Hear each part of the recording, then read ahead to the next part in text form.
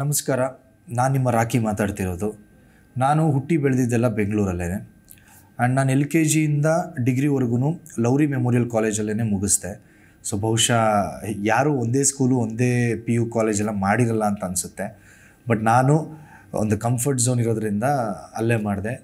ಅದು ಡಿಗ್ರಿ ಮಾಡ್ತಿರ್ಬೇಕಾದ್ರೆ ನನಗೆ ಆ್ಯಕ್ಟ್ರ್ ಆಗಬೇಕು ಅನ್ನೋ ಒಂದು ಒಂದು ನನ್ನ ಫ್ರೆಂಡಿಂದ ನಾನು ಕೂಡ ಆ್ಯಕ್ಟ್ರ್ ಆಗ್ಬೋದು ಅಂತ ನನಗೆ ಅನ್ನಿಸ್ತು.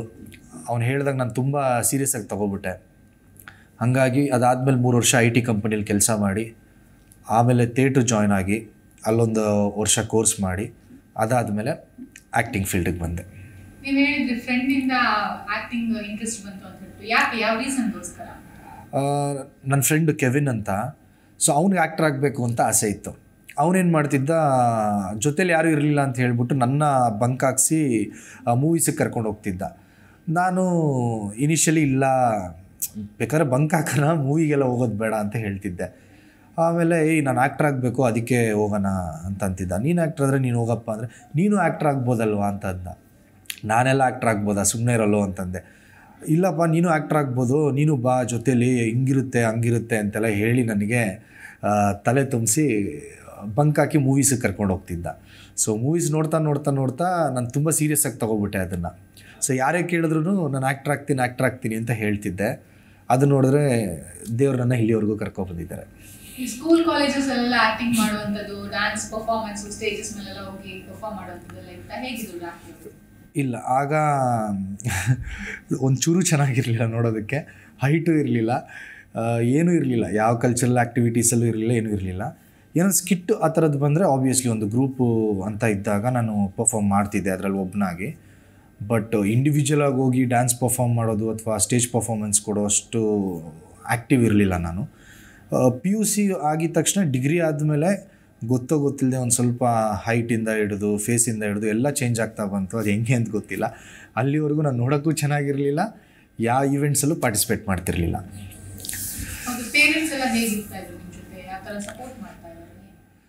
ಅಂದರೆ ಪೇರೆಂಟ್ಸ್ ಅಂದರೆ ಇನಿಷಿಯಲಿ ನನಗೆ ಕ್ರಿಕೆಟರ್ ಆಗಬೇಕು ಅಂತ ಆಸೆ ಇತ್ತು. ತುಂಬ ಜನ ಹೇಳ್ತಿದ್ರು, ತುಂಬ ಸ್ಟೈಲಿಗೆ ಆಡ್ತೀರಾ, ಯಾಕೆ ಕ್ರಿಕೆಟರ್ ಆಗಬಾರ್ದು ಅಂತ. ಅವಾಗ ನಿಮ್ಗೆ ಗೊತ್ತಿರುತ್ತಲ್ಲ, ಆ ವಯಸ್ಸಲ್ಲಿ ಮನೇಲಿ ಓದೋದೊಂದು ತುಂಬ, ಏನಂತಾರೆ, ಪ್ರಾಮುಖ್ಯತೆ ಕೊಡ್ತಾರೆ. ಸೊ ನಾನು ಸ್ಟಡೀಸ್ ಕಡೆನೇ ಮನೇಲಿ ಸಪೋರ್ಟ್ ಇರಲಿಲ್ಲ ಅಂತ ಇದು ಮಾಡಿದೆ. ಯಾವಾಗ ಡಿಗ್ರಿ ಆಯಿತೋ ಡಿಗ್ರಿ ಸೆಕೆಂಡ್ ಇಯರ್ಗೆ ಇಟ್ಕೊಬಿಟ್ಟೆ ನಾನು ಆ್ಯಕ್ಟ್ರ್ ಆಗ್ತೀನಿ ಅಂತ. ಆಗ ತಾಯಿಯವರು ಹೇಳಿದ್ರು, ಬೇಡ ಕಣೋ, ನೀನು ಡಿಗ್ರಿ ಮುಗಿಸ್ಕೊಂಡು ಏನು ಬೇಕಾದರೂ ಮಾಡು, ಅಂತ ಹೇಳಿದ್ರು. ಆಯಿತು ಇನ್ನು ಅವ್ರು ಹೇಳಿದ ಮೇಲೆ ಇನ್ನೇನು ಮಾಡೋದು ಅಂತ ಡಿಗ್ರಿ ಮುಗಿಸ್ದೆ. ಎರಡು ತಿಂಗಳು ಮೂರು ತಿಂಗಳು ಕೆಲಸಕ್ಕೆ ಹೋಗೋಣ ಅಂತ ಸುಮ್ಮನೆ ಹೋಗಿದ್ದು. ಅದು ನೋಡಿದ್ರೆ ಮೂರು ವರ್ಷ ಕರ್ಕೊಂಡೋಯ್ತು. ಅಮ್ಮ ಹೌಸ್ ವೈಫು ತಂದೆ ನಾನು ಡಿಗ್ರಿ ಫಸ್ಟ್ ಇಯರ್ ಓದ್ತಿರ್ಬೇಕಾದ್ರೆ ಎಕ್ಸ್ಪೈರ್ ಆದರು. ಸ್ವಲ್ಪ ಹೆಲ್ತ್ ಇಶ್ಯೂಸಿಂದ ಆ್ಯಂಡ್ ಒಂದು ತಮ್ಮ ಒಂದು ತಂಗಿ ಇದ್ದಾರೆ ತಂಗಿ ಬಂದ್ಬಿಟ್ಟು ಅದೇ ಐ ಟಿ ಫೀಲ್ಡಲ್ಲಿ ಕೆಲಸ ಮಾಡ್ತಿದ್ದಾರೆ ಇಂಜಿನಿಯರಿಂಗ್ ಮಾಡಿದ್ದಾರೆ ಆ್ಯಂಡ್ ತಮ್ಮ ಬಂದ್ಬಿಟ್ಟು ಕಾರ್ ಶೋರೂಮಲ್ಲಿ ಕೆಲಸ ಮಾಡ್ತಿದ್ದಾನೆ ಸೇಲ್ಸಲ್ಲಿ ಓಕೆ ಇವಾಗ ಮನೆ ಜವಾಬ್ದಾರಿ ಎಲ್ಲ ರಾಖಿ ಅವರೇ ನೋಡ್ಕೊಳ್ಳೋದಾ? ಹೇಗೆ ಹೇಗಿದೆ ಜೀವನಿ ಅಪ್ಪ ಅಂದರೆ ನಾನು ಹೋಗಿ ದುಡ್ದು ಏನೋ ಮಾಡಬೇಕು ಅಂತೇನಿಲ್ಲ. ಬಟ್ ನಮ್ಮದೇನಿದೆಯೋ ಕನಸು ಅದನ್ನು ನಾನೇ ಕಟ್ಕೋಬೇಕು. ಆ ಫ್ರೀಡಮ್ ನಮ್ಮ ಮನೇಲಿ ಕೊಟ್ಟಿದ್ದಾರೆ. ನಾನು ಯಾವತ್ತೂ ದುಡಿದ್ಬಿಟ್ಟು ಹೋಗಿ ನಮ್ಮ ಅಮ್ಮಗೆ ದುಡ್ಡು ಕೊಟ್ಟವನಲ್ಲ. ಇಲ್ಲ ನಮ್ಮ ಅಮ್ಮ ಹತ್ರನೇ ದುಡ್ಡು ತೊಗೊಂಡಿದ್ದೀನಿ ತಮ್ಮ ಹತ್ರ ತೊಗೊಂಡಿದ್ದೀನಿ ತಂಗಿ ಹತ್ರ ತೊಗೊಂಡಿದ್ದೀನಿ ಇನಿಷಿಯಲ್ ಡೇಸಲ್ಲಿ ಸೊ ಮನೇಲೆಲ್ಲ ಸಪೋರ್ಟಿವ್ ಆಗಿದ್ದಾರೆ. ಅಷ್ಟೇ. ಕೆಲವೊಂದು ಸಿಚುವೇಶನ್ ಅಂದ್ರೆ ಅಪ್ಪ ಇದ್ದಾಗ ಮನೆ ಜವಾಬ್ದಾರಿ ಎಲ್ಲ ಅವರೇ ತಗೊಳ್ತಾ ಇದ್ರು. ಅಪ್ಪ ಇದಾದ್ಮೇಲೆ ನಾವೇ ಜವಾಬ್ದಾರಿ ತಗೊಳ್ಬೇಕಾಗುತ್ತೆ. ಆದ್ರೆ ನೀವು ಆಕ್ಟಿಂಗ್ ಹೋಗ್ತೀನಿ ಅಂತ ಹೇಳಿದಾಗ ಅಮ್ಮ ಅಷ್ಟು ಸಪೋರ್ಟ್ ಮಾಡಿದ್ರೆ ಯಾಕೆ ಮನೆ ನೀನೇ ನೋಡ್ಕೊಳ್ಬೇಕು? ಆಕ್ಟಿಂಗ್ ಅಲ್ಲೇ ಯಾಕೆ ಏನು ಅಂತೆಲ್ಲ ಹೇಳಿ ಅಂದ್ರೆ ಅಮ್ಮ ಸಪೋರ್ಟ್ ಮಾಡಿದ್ರು. ಅಂದರೆ ಏನಂತಂದರೆ ಏನೋ ಅಂದ್ಕೊಂಡಿದ್ಯಾ ಮಾಡಪ್ಪ. ಬಟ್ ನೀನು ಏನೇ ಮಾಡಿದ್ರು ಒಂದು ಒಳ್ಳೆ ದಾರಿಯಲ್ಲಿ ಹೋಗು. ಕೆಟ್ಟ ದಾರಿ ಇಡಿಬೇಡ ಹಿಡಿಬೇಡ. ಯಾಕೆ ಅಂತಂದರೆ ನಾಳೆ ತುಂಬ ಜನಕ್ಕೆ ನಾನು ಉತ್ತರ ಕೊಡಬೇಕಾಗುತ್ತೆ. ಅಂತ ಹೇಳಿದ್ರು. ಸರಿ ಮಾ, ಆಯಿತು. ಇನ್ನು ಆಮೇಲೆ ಸೆಕೆಂಡ್ ಇಯರ್ಗೆ ಹಠ ಹಿಡ್ದಿದ್ದೆ ಅಂತ ಹೇಳಿದ್ನಲ್ಲ. ಡಿಗ್ರಿ ಮುಗಿಸಿದ ಮೇಲೆ ನೀನು ಮಾಡು ಅಂತ ಅವ್ರು ಆಲ್ರೆಡಿ ಹೇಳಿರೋದ್ರಿಂದ ಅವರ ಮಾತು ವಾಪಸ್ ತೊಗೊಳಕ್ಕೆ ಆಗ್ತಿರ್ಲಿಲ್ಲ. ಸೊ ಕೆಲ್ಸಕ್ಕೆ ಹೋದೆ. ಕೆಲ್ಸಕ್ಕೆ ಹೋದಾಗೂ ದುಡ್ಡು ಕೊಡ್ತಿರ್ಲಿಲ್ಲ. ವೇಸ್ಟ್ ಮಾಡ್ತಿದ್ದೆ. ಅವನು ಇದಿರಲಿಲ್ಲ ಫ್ಯೂಚರ್ ಪ್ಲ್ಯಾನಿಂಗ್ ಆಗಲಿ. ಏನೂ ಇರಲಿಲ್ಲ. ಸುಮ್ಮನೆ ಹುಡುಗಾಟಿಕೆ ಇತ್ತು. ಒಂದು ಏಜ್ ಆಗ್ತಾ ಆಗ್ತಾ ಆಗ್ತಾ ಒಂದು ಸೀರಿಯಸ್ನೆಸ್ ಬಂತು. ಇನ್ನು ಇದು ರೈಟ್ ಟೈಮ್ ಅಂತ ಹೇಳಿ ಥಿಯೇಟ್ರಿಗೆ ಹೋಗಿ ಜಾಯ್ನ್ ಆಗಿ ಅಭಿನಯ ತರಂಗದಲ್ಲಿ ಅಲ್ಲಿಂದ ನನಗೆ ಒಂದು ಫೈವ್ ತಿಂಗ್ ಫೈವ್ ಮಂತ್ಸು ತುಂಬ ಸ್ಟ್ರಗಲ್ ಮಾಡಿದೆ ಆಪರ್ಚುನಿಟೀಸ್ಗೆ ಅದಾದಮೇಲೆ ನನಗೆ ಫಸ್ಟ್ ಸೀರಿಯಲ್ ವರಲಕ್ಷ್ಮಿ ಸ್ಟೋರ್ಸ್ ಸುವರ್ಣದಲ್ಲಿ ಸಿಕ್ತು. ಸಿಕ್ಕಿದಾಗೂ ನಾನು ನಮ್ಮ ಮನೇಲಿ ಹೇಳಿರಲಿಲ್ಲ. ಪ್ರೋಮೋ ಬಿಟ್ಟ ಮೇಲೆ ಶೂಟ್ ಮುಗಿಸ್ಕೊಂಬಂದು ಪ್ರೋಮೋ ಟಿ ವಿಯಲ್ಲಿ ಆದಮೇಲೆ ನಾನು ನಮ್ಮ ಮನೇಲಿ ಹೇಳಿದ್ದು. ಸೊ ಮನೇಲಿ ನಮ್ಮ ಅಮ್ಮ ಆಗಿರ್ಬೋದು, ತಮ್ಮ ಆಗಿರ್ಬೋದು, ತಂಗಿ ಆಗಿರ್ಬೋದು ತುಂಬ ಸಪೋರ್ಟ್ ಮಾಡಿದ್ದಾರೆ. ಎಷ್ಟು ಕೊಟ್ಟಿದ್ರೆ ಅಂದ್ರೆ ಫಸ್ಟ್ ಸೀರಿಯಲ್ಗೆ ವರಲಕ್ಷ್ಮಿ ಸ್ಟೋರ್ಸ್ ಅಂತ ಹೇಳಿದ್ರು, ಎಷ್ಟು ಆಡಿಷನ್ಸ್ ಕೊಟ್ಟಿದ್ರಿ ಮುಂಚೆ ಅದಕ್ಕೆ ಮುಂಚೆ ನಾನು ತುಂಬ ಆಡಿಷನ್ಸ್ ಕೊಟ್ಟಿದ್ದೆ. ಒಂದು ಆಲ್ಮೋಸ್ಟ್ ಒಂದು ಟ್ವೆಂಟಿ ಟು ಟ್ವೆನ್ ಟ್ವೆಂಟಿ ಕೊಟ್ಟಿರ್ಬೋದು ಅನಿಸುತ್ತೆ ಆಲ್ಮೋಸ್ಟು ಬಟ್ ಆ ಟ್ವೆಂಟಿ ಆಡಿಷನ್ಸಲ್ಲೂ ನನಗೆ ಯಾವುದು ಫಸ್ಟು ಒಂದು ಲುಕ್ ಟೆಸ್ಟ್ ಬಿಟ್ಟರೆ ಫಸ್ಟ್ ಒಂದು ಆಡಿಷನ್ ಬಿಟ್ಟರೆ ಅದಾದಮೇಲೆ ಮಿಕ್ಕಿದ ಯಾವ ಯಾವ ಆಡಿಷನ್ ಕೊಟ್ಟಿದ್ದೀನೋ ಎಲ್ಲದಕ್ಕೂ ಲುಕ್ ಟೆಸ್ಟ್ ಕೊಟ್ಟಿದ್ದೀನಿ. ಏಯ್, ಚೆನ್ನಾಗಿದ್ದಾನಪ್ಪ ಹುಡುಗ, ಚೆನ್ನಾಗಿ ಮಾಡ್ತಾನೆ, ಬನ್ನಿ ಅಂತನ್ನೋರು. ಲುಕ್ ಟೆಸ್ಟ್ ಆಗ್ತಿತ್ತು, ಆಮೇಲೆ ಫೈನಲ್ ಆಗ್ತಿರ್ಲಿಲ್ಲ. ಆಮೇಲೆ ಅಲ್ಲಿ ಯಾರೋ ರೆಕಗ್ನೈಸ್ಡ್ ಆರ್ಟಿಸ್ಟು ಫೈನಲ್ ಆಗಿರ್ತಿದ್ರು. ನೋಡಿ ನೋಡಿ ನೋಡಿ ಬೇಜಾರಾಗಿ ಹೋಗಿತ್ತು ಒಂದು ವರ್ಷ ಥಿಯೇಟ್ರ್ ಮಾಡೋಕ್ಕೆ ದುಡ್ಡಿಲ್ಲ. ಅದಾದಮೇಲೆ ಬರೀ ಮನೇಲಿ ಇಸ್ಕೊತಿದ್ದೀನಿ. ಅದೊಂದು ನೋವು ಇರುತ್ತೆ. ಅದಾದಮೇಲೆ ಐದಾರು ತಿಂಗಳು ಅಲಿತಿದ್ದೀನಿ ಕೈಯಲ್ಲಿ ದುಡ್ಡಿಲ್ಲ. ಎಲ್ಲ ಡೈಲಿ ಮನೇಲಿ ಇಸ್ಕೊಂಡು ಹೋಗೋದು. ಬರೋದು ಆಪರ್ಚುನಿಟಿ ವರ್ಕ್ ಆಗ್ತಿಲ್ಲ. ಇನಿಷಿಯಲಲ್ಲೇ ನಮ್ಮನ್ನ ಏನಾರ ಸೆಲೆಕ್ಟ್ ಮಾಡಿಲ್ಲ ಅಂತಂದರೆ ಮೇ ಬಿ ನಮ್ಮದೇನೋ ಮೈನಸ್ ಇರ್ಬೋದು, ಏನೋ ಕಲಿಬೋದು, ಕಲಿಬೇಕು ಇನ್ನು ನಾನು. ಅಥವಾ ಏನೋ ಗ್ರೂಮ್ ಆಗಬೇಕು ಅನ್ನೋದು ಬರ್ತಿತ್ತು. ಲಾಸ್ಟ್ ಮೂಮೆಂಟ್ವರೆಗೂ ಎಲ್ಲ ಲುಕ್ ಟೆಸ್ಟಲ್ಲೂ ಕರೆಸಿ ಇದೇ ನಿನ್ನ ಲಾಸ್ಟ್ ಲುಕ್ ಟೆಸ್ಟು ಅಂತ ಕೆಲವ್ರು ಹೇಳಿ ಕೆಲವ್ರು ಫೈನಲ್ ಅಂತ ಹೇಳಿ ಅದಾಗದೇ ಇದ್ದಾಗ ತುಂಬ ಬೇಜಾರಾಗ್ತಿತ್ತು. ಸೊ ಹೆಂಗೋ ಫೈನಲಿ ದೇವರು ಇವತ್ತೆಲ್ಲ ಒಳ್ಳೇದು ಮಾಡ್ತಿದ್ದಾರೆ.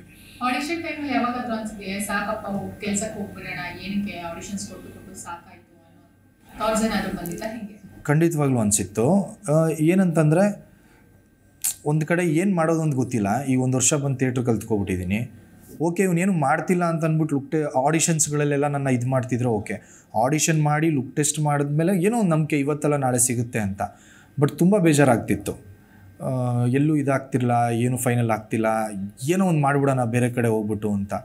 ಬಟ್ ಫ್ರೆಂಡ್ಸಿಗೆ ಉತ್ತರ ಕೊಡಬೇಕು ಫ್ಯಾಮಿಲಿಗೆ ಎಲ್ರಿಗೂ ಉತ್ತರ ಕೊಡಬೇಕು ಸಡನ್ನಾಗಿ ಬಿಟ್ಬಿಟ್ರೆ ಏನೋ ಒಂದು ಮಾಡೋಣ, ನೋಡೋಣ ನೋಡೋಣ ಅಂತ ಇದ್ದಿದ್ದು. ಆ್ಯಂಡ್ ಚಾಮುಂಡೇಶ್ವರಿ ತಾಯಿ ದೇವಸ್ಥಾನಕ್ಕೆ ಹೋಗ್ಬಿಟ್ಟು ಬಂದೆ.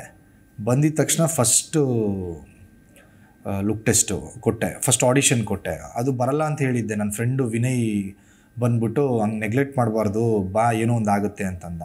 ಅವ್ನು ಹೇಳಿದನಲ್ಲ ಅನ್ನೋದಕ್ಕೆ ಒಂದು ಬೇಕಾಬಿಟ್ಟಿಯಾಗಿ ಹೋಗಿದ್ದ ಅವತ್ತು ನಾನು. ನೋಡಿದ್ರೆ ಮತ್ತೆ ಲುಕ್ ಟೆಸ್ಟ್ ಅಂದರು. ಕಾಮನ್ ಅಲ್ವಾ? ಎಲ್ಲ ಆಡಿಷನ್ಸ್ಗೆ ಹೋದ್ಮೇಲೆ ನನ್ನ ಲುಕ್ ಟೆಸ್ಟಿಗೆ ಕರೀತಾರೆ ಅಂತ ಅದಕ್ಕೂ ಹೋದೆ. ನೋಡಿದ್ರೆ ಅವತ್ತೇ ಫೈನಲ್ ಅಂತ ಹೇಳಿದ್ರು. ಸರಿ ಬಿಡು, ಏನೋ ಹಿಂಗೆ ಹೇಳಿದಾರಲ್ಲ, ಹಿಂದೇನೋ ಅಂತ ಅಂದ್ಕೊಂಡೆ ಲುಕ್ ಟೆಸ್ಟ್ ಯಾವಾಗ, ಅಂದರೆ ಪ್ರೋಮೋ ಯಾವಾಗ ಮಾಡಿದ್ರು? ಆಗ ಒಂದು ನಂಬಿಕೆ ಬಂತು. ಫಸ್ಟ್ ಸೀರಿಯಲ್ ಜರ್ನಿ ಹೇಗಿತ್ತು? ಅಂದ್ರೆ ಕ್ಯಾಮ್ರಾ ಫೇಸ್ ಮಾಡಿದಾಗ ಹೇಗೆ ಅನಿಸ್ತು ಕಷ್ಟ ಆಗ್ತಾ ಇತ್ತಾ? ಹೇಗೆ? ಅಂದರೆ ಕ್ಯಾಮ್ರಾ ಫೇಸು ಅದ್ರ ಹಿಂದೆ ರೋಹಿತ್ ಪದಕಿ ಸರ್ ಅಂತ ಡೈರೆಕ್ಟ್ರು ನೀವೆಲ್ಲರೂ ಕೇಳಿರ್ತೀರ? ದಯವಿಟ್ಟು ಗಮನಿಸಿ ಮತ್ತು ರತ್ನನ್ ಪ್ರಪಂಚ ಅಂತ ಒಂದು ಸಿನಿಮಾ ಡೈರೆಕ್ಟ್ ಮಾಡಿದ್ರು. ಅವರು ನನ್ನ ಹಾಕ್ಕೊಂಡು ಒಂದು ಗಂಡಸ್ ಕತ್ರಿ ಅಂತ ಒಂದು ಶಾರ್ಟ್ ಫಿಲಮ್ ತೆಗೆದ್ರು ಜಸ್ಟ್ ಟೂ ಡೇಸು ಅಲ್ಲಿ ನನಗೆ ಅವರು ಒಂದು ಬೇಸಿಕ್ಸ್ ಹೇಳ್ಕೊಟ್ಟಿದ್ರು. ನೋಡು ಮಗ ಹಿಂಗೆ ಹಿಂಗೆ ಮಾಡಬೇಕು ಈ ಥರ ಅಂತ. ಆ್ಯಂಡ್ ಅದಕ್ಕೆ ನಾನು ಎಫ್ ಎಂ ಅವಾರ್ಡ್ಸ್ಗೆಲ್ಲ ಸೆಲೆಕ್ಟ್ ಆಗಿದ್ದೆ ನಾಮಿನಿ ಆಗಿದ್ದೆ. ಅಲ್ಲಾದಮೇಲೆ ನನಗೆ ನೆಕ್ಸ್ಟು ಸೀರಿಯಲ್ ಕ್ಯಾಮ್ರಾ ಫೇಸ್ ಮಾಡೋಕ್ಕೆ ಬಂದಾಗ ಕಂಪ್ಲೀಟ್ ಡಿಫ್ರೆಂಟ್ ಇತ್ತು. ಆಮೇಲೆ ಕೆಲವು ನಿಮಗೆ ಗೊತ್ತು ಫಸ್ಟ್ ಸೀರಿಯಲ್ ಅಂದಿದ್ದ ತಕ್ಷಣ ಒಂದು ಸ್ವಲ್ಪ ಇರುತ್ತೆ. ಅಂದರೆ ಬೇಗ ಮಾಡಬೇಕು ಅಂತ ಅವ್ರಿಗಿರುತ್ತೆ ಬಟ್ ಫಸ್ಟ್ ಸೀರಿಯಲ್ ಈ ಹುಡುಗಂದು ಅನ್ನೋದು ಅವ್ರ ಮೈಂಡಲ್ಲಿ ಇರಲಿಲ್ಲ. ಬಟ್ ನನ್ನ ಪುಣ್ಯಕ್ಕೆ ದಿಲೀಪ್ ಸರ್ ಅಂತ ಒಬ್ಬರು ಡೈರೆಕ್ಟ್ರು ಅವ್ರು ಹೇಳ್ತಿದ್ರು, ಇವ್ನು ಮೈದಾಸ್ ಇಟ್ಕೊಳೋ ಹೆಂಗೆ ಬೇಕಾದರೂ ಕಲಿಸ್ಬೋದು ಇವನ್ನ ಇವ್ನು ಹಿಂಗಂತ ತೋರಿಸ್ಕೊಟ್ಬಿಟ್ರೆ ಹಂಗೆ ಮಾಡ್ತಾನೆ ಇವನು ಅಂತ. ಸೊ ಅವ್ರು ತೋರಿಸ್ಕೊಡ್ತಿದ್ದನ್ನ ಎಕ್ಸಾಕ್ಟ್ ಕಾಪಿ ಮಾಡಿ ಮಾಡ್ತಿದ್ದೆ. ಒಂದು ಫ್ಯೂ ಎಪಿಸೋಡ್ಸು ಅದಾದಮೇಲೆ ಸ್ಟೆಪ್ ಬೈ ಸ್ಟೆಪ್ಪು ಕಲ್ತ್ಕೊಂಡು ಮಾಡಿದೆ. ಇನಿಷಿಯಲ್ ಏನು ಕಷ್ಟ ಅನಿಸಿಲ್ಲ ದಿಲೀಪ್ ಸರು ತುಂಬ ಸಪೋರ್ಟ್ ಮಾಡಿದ್ರು ಸೊ ಹಂಗಾಗಿ ಏನು ಕಷ್ಟ ಅನಿಸಿಲ್ಲ.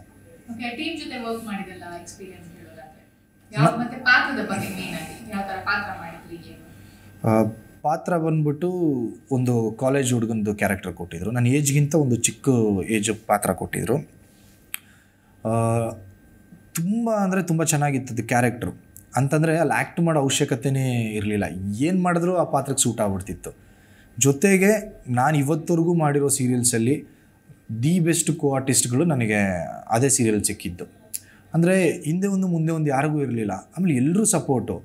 ನಮ್ಮ ಅಣ್ಣ ಕ್ಯಾರೆಕ್ಟರ್ ಅತ್ತಿಗೆ ಮಂಡ್ಯ ರವಿ ಅವರು ಇರ್ಬೋದು ಪ್ರೀತಿ ಶ್ರೀನಿವಾಸ್ ಅವ್ರು ಇರ್ಬೋದು, ಎಷ್ಟೋ ಜನ ಬೇರೆ ಬೇರೆ ಸೀನಿಯರ್ ಆರ್ಟಿಸ್ಟ್ಗಳು ಎಲ್ಲರೂ ಅದೇನೋ ನನ್ನ ಮೇಲೆ ನಂಬಿಕೆ ಇಟ್ಟಿದ್ರು. ಆಮೇಲೆ ಅವರೆಲ್ಲರೂ ಹೇಳ್ತಿದ್ರು, ನೀನು ಈ ಪ್ರಾಜೆಕ್ಟ್ ಆಗಿದ ತಕ್ಷಣ ನಿನಗೆ ಎಷ್ಟು ಒಳ್ಳೇದಾಗುತ್ತೆ, ಪಕ್ಕಾ ಬೆಳೀತೀಯಾ, ಬಟ್ ಫೋಕಸ್ ಕಳ್ಕೊಬೇಡ, ಒಂದು ರೈಟ್ ಪಾತಲ್ಲಿ ಹೋಗು, ನೀನು ನಿಜವಾಗ್ಲೂ ಬೆಳಿತೀಯ ಅಂತ ಹೇಳಿ ಪ್ರತಿಯೊಬ್ಬರು ಕೋ ಆರ್ಟಿಸ್ಟ್ಗಳು ಸಪೋರ್ಟ್ ಮಾಡಿದ್ರು ಸೊ ಅದನ್ನು ನಾನು ಯಾವತ್ತೂ ಮರೆಯೋದಕ್ಕಾಗಲ್ಲ ಆ್ಯಂಡ್ ನಾನು ತುಂಬ ಲಕ್ಕಿ ಫಸ್ಟ್ ಸೀರಿಯಲಲ್ಲೇ ಅಷ್ಟೊಂದು ಜನ ಆರ್ಟಿಸ್ಟ್ಗಳ ಜೊತೆ, ಆಮೇಲೆ ಎಷ್ಟೋ ಮಹಾಸಂಗಮಗಳು ಆದಾಗ ಬೇರೆ ಇನ್ನೊಂದಷ್ಟು ಆರ್ಟಿಸ್ಟ್ಗಳ ಜೊತೆ ಆ್ಯಕ್ಟ್ ಮಾಡೋದಕ್ಕೆ ಆಪರ್ಚುನಿಟಿ ಸಿಕ್ಕಿದ್ದು ತುಂಬ ಲಕ್ಕಿ ಅಂತ ಹೇಳ್ಬೋದು. ಅದಾದ್ಮೇಲೆ ಯಾವ ಸೀರಿಯಲ್ ಮಾಡಿದ್ರಿ? ಯಾವ ರೀತಿ ಪಾತ್ರಗಳು ಬಂತು? ಹೇಗೆ? ಅಂದರೆ ವರಲಕ್ಷ್ಮಿ ಸ್ಟೋರ್ಸ್ ಒಂದು ಶಾರ್ಟ್ ಸ್ಪ್ಯಾನಲ್ಲಿ ಇತ್ತು. ಆ ಶಾರ್ಟ್ ಸ್ಪ್ಯಾನಲ್ಲಿ ನನಗೆ ಒಂದು ಸಿಕ್ಸ್ ಮಂತ್ಸ್ ಇರ್ಬೋದೇನೋ ಅನ್ಸುತ್ತೆ, ಬಂತೇನೋ ಅನಿಸುತ್ತೆ. ಆ ಸ್ಪ್ಯಾನಲ್ಲಿ ನನಗೆ ಎಲ್ಲರ ಜೊತೆನೂ ಬೆಳೆದಿರೋದ್ರಿಂದ ಒಂದು ಅಷ್ಟೊತ್ತಿಗಾಗಲೇ ಬೇರೆ ಕಡೆ ಹೋದ್ರೂ ಚೆನ್ನಾಗಿ ಮಾಡುವಷ್ಟು ಒಂದು ಇದು ಬಂದಿತ್ತು. ಕಲಿಯೋದಿರುತ್ತೆ ಆಬ್ವಿಯಸ್ಲಿ ಬಟ್ ಒಂದು ಸ್ವಲ್ಪ ಕಲ್ತಿದ್ದೆ ಅಲ್ಲ ಅವರೆಲ್ಲರ ಜೊತೆ ಮಾಡಿದಾಗಿಂದ.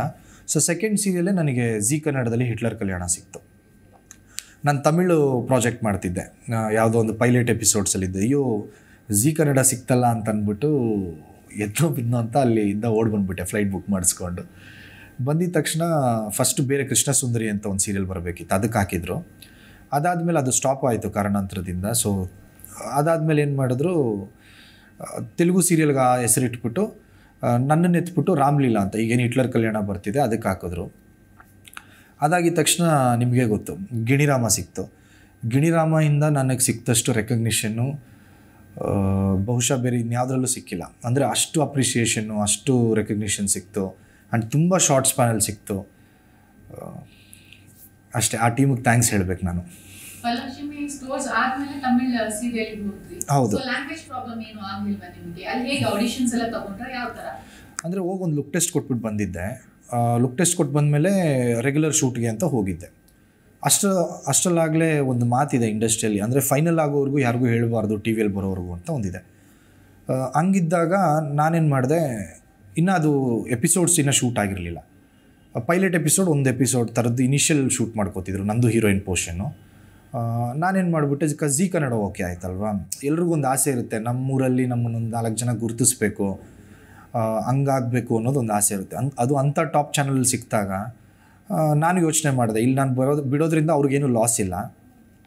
ಸೊ ನಂದು ನನ್ನ ಕೆರಿಯರ್ ಇಂಪಾರ್ಟೆಂಟು ಅಂತ ಅಂದ್ಬಿಟ್ಟು ನಾನು ಅವ್ರಿಗೆ ಹೇಳ್ಬಿಟ್ಟೆ ಬಂದೆ ಇಲ್ಲಿಗೆ.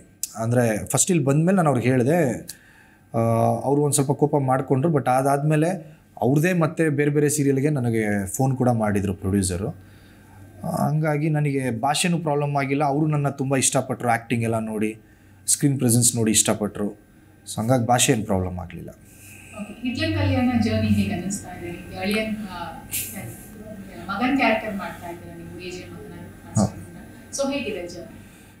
ಅಂದರೆ ಎಲ್ಲದರಲ್ಲೂ ಒಂದು ಎಲ್ಲ ಒಂದು ಪ್ರಾಜೆಕ್ಟ್ ಅಂತಂದರೆ ಆಬ್ವಿಯಸ್ಲಿ ಪ್ಲಸ್ಸು ಮೈನಸ್ಸು ಇರುತ್ತೆ. ಹಂಗಾಗಿ ನಂದು ಇಲ್ಲಿ ಏನು ಅಂತಂದರೆ ನನಗೆ ಫಸ್ಟ್ ಹೇಳಿದರು ಈಕ್ವಲ್ ಇಂಪಾರ್ಟೆನ್ಸ್ ಇರುತ್ತೆ ಅಂತ ಹೇಳಿದ್ರು. ಅದಾದಮೇಲೆ ನನಗೆ ಹೇಳೋದಾದರೆ ಅಷ್ಟು ಕ್ಯಾರೆಕ್ಟರ್ ಇಲ್ಲ ನಂದು ಆ ಸೀರಿಯಲಲ್ಲಿ ಬಟ್ ನಾನು ಏನೇನು ಮಾಡಿದ್ದೀನೋ ಒಂದಷ್ಟು ದಿವಸ. ಆ್ಯಂಡ್ ಆ ಸೆಟ್ಟಲ್ಲಿ ನಾನು ಒಂದಷ್ಟು ಜನ ಜೆನ್ಯೂನ್ ಪೀಪಲ್ನ ಸಂಪಾದನೆ ಮಾಡ್ಕೊಂಡಿದ್ದೀನಿ. ಅವರಿಂದ ಕಲ್ತಿರೋದು ಇದೆ. ಅದೊಂದು ನನಗೆ ಫ್ಯೂಚರ್ಗೆ ಎಕ್ಸ್ಪೀರಿಯೆನ್ಸ್ ಆಗುತ್ತೆ. ಅಂದರೆ ಒಳ್ಳೆಯದೂ ಆಗಿದೆ ಕೆಟ್ಟದ್ದು ಆಗುತ್ತೆ ಎಲ್ಲದರಲ್ಲೂ ಆ್ಯಂಡ್ ಆ ಪ್ರಾಜೆಕ್ಟಿಂದ ಒಳ್ಳೆಯದೂ ಆಗಿದೆ ಕೆಟ್ಟದ್ದು ಆಗಿದೆ. ಆ್ಯಂಡ್ ತುಂಬ ಜನದಿಂದ ಒಳ್ಳೇದು ಕಲ್ತಿದ್ದೀನಿ ಅಲ್ಲಿ.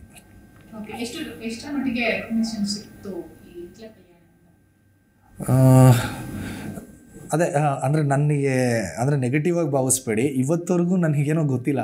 ಹಿಟ್ಲರ್ ಕಲ್ಯಾಣದಲ್ಲಿ ನಾನೇ ಹೇಳ್ತೀನಿ ಎಲ್ರಿಗೂ ಏ, ನಾನು ಹಿಟ್ಲರ್ ಕಲ್ಯಾಣದಲ್ಲಿ ಮಾಡ್ತಿದ್ದೀನಿ ಅಂತಂದಾಗ ಯಾವ ಪಾತ್ರ ಮಾಡ್ತಿದ್ದೀರಾ? ಓಕೆ, ಈ ಪಾತ್ರನ ಯಾಕೆ ನೀವು ಕಾಣಿಸಲ್ಲ? ಅಂತಲೇ ಕೇಳಿದ್ದಾರೆ ಹೊರತು. ಅಂದರೆ ನಾನಾಗಿ ನಾನು ಹೇಳಿದ್ಮೇಲೆ, ಹೊರಗಡೆಯಿಂದ ನನಗೆ ಯಾರು ಇವತ್ತವರೆಗೂ ಗುರುತಿಡ್ದಿಲ್ಲ. ಅದು ಏನಕ್ಕೆ ಅಂತ ನನಗೂ ಇವತ್ತವರೆಗೂ ಕ್ಲಾರಿಟಿ ಇಲ್ಲ. ಹಿಟ್ಲರ್ ಕಲ್ಯಾಣ ಸೀರಿಯಲ್ ಕಾಣಿಸ್ಕೊಂಡ್ರಿ. ಇವಾಗ ಆ ಸೀರಿಯಲ್ನ ಒಂದಿಷ್ಟು ಕ್ಯಾರೆಕ್ಟರ್ಗಳನ್ನ ಹೆಸರು ಹೇಳ್ತಾ ಹೋಗ್ತೀನಿ ನಾನು. ಆ ಬಗ್ಗೆ ಒಂದೊಂದು ಸೆಂಟೆನ್ಸ್ ಅಲ್ಲಿ ನೀವು ಹೇಳ್ತಾ ಹೋಗ್ಬೇಕು. ಸರಿ ಖಂಡಿತ. ದಿಲೀಪ್ ರಾಜ್. ದಿಲೀಪ್ ರಾಜ್ ಅಂದರೆ ಅವರು ಒಂದು wonderful actor Leela. Leela amazing human being and ನಾನು ಯಾವಾಗ ಹೇಳ್ತಿರ್ತೀನಿ ನೋಡೋ ನೀನು ನೋಡೋಕ್ಕೆ ಮಾತ್ರ ಚೆನ್ನಾಗಿಲ್ಲ. ಈವನ್ ಬೈ ಹಾರ್ಟ್ ನೀನು ತುಂಬ ಒಳ್ಳೆ ಹುಡುಗಿ. ಆ್ಯಂಡ್ ತುಂಬ ಅಂದರೆ ತುಂಬ ಪಾಸಿಟಿವ್ ಆಗಿರ್ತಾ ಇರ್ತಾರೆ ಅವ್ರು ಯಾವಾಗೂ ಆ್ಯಂಡ್ ನನಗೆ ಪರ್ಸ್ನಲ್ ಆಗಿ ನನಗಾಗಿರ್ಬೋದು ವಿನಯ್ಗಾಗಿರ್ಬೋದು ಅವರು ತುಂಬ ಸಪೋರ್ಟ್ ಕೂಡ ಮಾಡಿದ್ದಾರೆ ಅಲ್ಲಿ. ದುರ್ಗಾ. ಅವರು ಅವರು ಅಷ್ಟೇ ತುಂಬ ಒಳ್ಳೆಯವರು. ನಾನು ಯಾವಾಗಾದರೂ ಯಾವುದಕ್ಕಾದ್ರೂ ಫಸ್ಟು ಯಾರಿಗಾದ್ರೂ ಒಂದು ಹೆಲ್ಪ್ ಆಗುತ್ತೆ ಸಹಾಯ ಸಹಾಯ ಆಗುತ್ತೆ ನೀವು ಒಂದು ಬೈಟ್ಸ್ ಕೊಡ್ತೀರಾ ಅಂತ ಕೇಳಿದಾಗ ಆ ಇಡೀ ಸೀರಿಯಲ್ ಟೀಮಲ್ಲಿ ಫಸ್ಟು ಮುಂದೆ ಬರ್ತಿದ್ದವರೇ ನಂದಿನಿ ಅವರು ದುರ್ಗಾ ಅವರು. So wonderful human being Lakshmi ನನ್ನ ಜೋಡಿ. ಆ, ನೇಹ ಲಕ್ಷ್ಮಿ ಕ್ಯಾರೆಕ್ಟರ್ ಮಾಡ್ತಿದ್ದಾರೆ. ಸೊ ನನಗೆ ಯಾವಾಗೂ ನೇಹ ಅವರು ಸಿಕ್ಕಿದಾಗೆಲ್ಲ ಹೇಳ್ತಿದ್ರು ಅಂದರೆ ಸೆಟ್ಟಿಗೆ ಹೋದಾಗೆಲ್ಲ ಹೇಳ್ತಿರ್ತಿದ್ರು.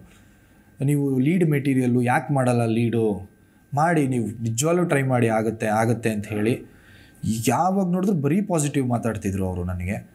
ಆ್ಯಂಡ್ ಏನಂತ ಅನ್ಬೋದು ವಂಡರ್ಫುಲ್ ಕೋಸ್ಟಾರ್ ಅಂತ ಹೇಳ್ಬೋದು. ಮೂರನೇ ಸೊಸೆ. ಪದ್ಮಿನಿ. ಪದ್ದೂಸ್ ಅಂತ ಕರಿತೀನಿ. ಯಾವುದು ಸರಸು ಕ್ಯಾರೆಕ್ಟರ್ ಮಾಡ್ತಿದ್ದಾರೆ ಆ್ಯಂಡ್ ಅವರು ಅಷ್ಟೇ ಸೊ ನೇಹದ ಒಂದು ಜೆರಾಕ್ಸ್ ಅಂತ ಹೇಳ್ಬೋದು. ಪದ್ದೂಸು ಹೇಳ್ತಿದ್ರು ಯಾವಾಗೂ ರಾಕಿ ನೀನು ಫಸ್ಟು ನೀನು ಟ್ರೈ ಮಾಡು, ನೀನು ಲೀಡ್ಗೆ ನೀನು ಪಕ್ಕ ಒಳ್ಳೇದಾಗುತ್ತೆ ನಿನಗೆ. ಎಲ್ಲ ಚೆನ್ನಾಗಿ ಮಾಡ್ತೀಯ? ಕೊಟ್ಟಿರೋ ಸೀನ್ಸ್ ಎಲ್ಲ ಚೆನ್ನಾಗಿ ಮಾಡ್ತೀಯ? ಆ್ಯಂಡ್ ನಾನು ಒಬ್ಬನಿಗೆ ಅಲ್ಲ. ಇನ್ಕ್ಲೂಡಿಂಗ್ ವಿನಯ್ಗೂ ಸೇರಿಸಿ ಪದ್ದೂಸ್ ಹೇಳೋರು. ಆಮೇಲೆ ತುಂಬ ಸಪೋರ್ಟ್ ಮಾಡಿದ್ದಾರೆ ಆ್ಯಕ್ಚುಲಿ ಅವರು. ಆಮೇಲೆ ಟೆಕ್ನಿಕಲಿ ಒಂದು ಅಷ್ಟಷ್ಟು ನನಗೆ ಗೊತ್ತಾಗ್ತಿರಲಿಲ್ಲ ಎರಡನೇ ಸೀರಿಯಲ್ ಅಂತಂದಾಗ ಇನಿಷಿಯಲಿ ಸೊ ಪದ್ದು ಹೇಳ್ಕೊಡ್ತಿದ್ರು ನೋಡಿ ಲೈಟ್ ತಗೋ ನೀಟಿಗೆ ಇದು ಮಾಡು ಹಿಂಗೆ ಚೆನ್ನಾಗಿ ಕಾಣಿಸ್ತೀಯಾ? ಸ್ವಲ್ಪ ಬಂದು ಮುಂದೆ ನಿಂತ್ಕೋ. ಯಾಕೆ ನಿಮ್ಮ ಹೆಂಡತಿ ಪಕ್ಕ ನಿಂತ್ಕೊಳಲ್ಲ ಎಲ್ಲೋ ದೂರ ನಿಂತಿರ್ತೀಯ? ಬಂದು ಕ್ಯಾರೆಕ್ಟಲ್ಲಿ ನಿಂತ್ಕೋ. ಈ ಥರದ್ದೆಲ್ಲ ಒಂದಷ್ಟು ಪದ್ದು ಹೇಳ್ಕೊಟ್ಟಿದ್ದಾರೆ. ವಿನಯ್? ವಿನಯ್ ಏನು ಹೇಳಿ ನನ್ನ ಕ್ಲೋಸ್ ಫ್ರೆಂಡ್ ಐ ಟಿ ಫೀಲ್ಡಲ್ಲಿ ಕೆಲಸ ಮಾಡಬೇಕಾದ್ರೆ ಒಂದೇ ಲಿಫ್ಟಲ್ಲಿ ಸಿಕ್ಕಿ ಟೂ ತೌಸಂಡ್ ಸಿಕ್ಸ್ಟೀನ್ ಇರ್ಬೋದು.